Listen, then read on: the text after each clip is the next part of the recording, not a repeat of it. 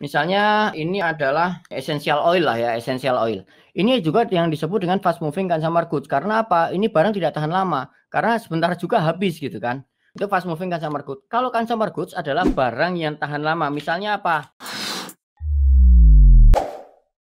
Oke, saya lanjutkan ya yang untuk yang packaging yang untuk fast moving consumer goods.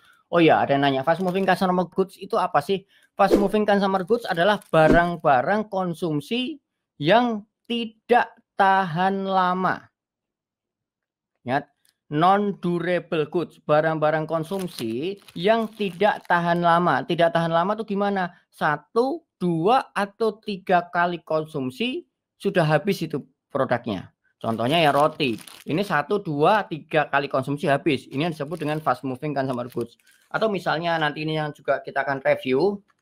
Misalnya ini adalah essential oil lah ya, essential oil. Ini juga yang disebut dengan fast moving consumer goods. Karena apa? Ini barang tidak tahan lama. Karena sebentar juga habis gitu kan. Itu fast moving consumer goods. Kalau consumer goods adalah barang yang tahan lama. Misalnya apa? HP.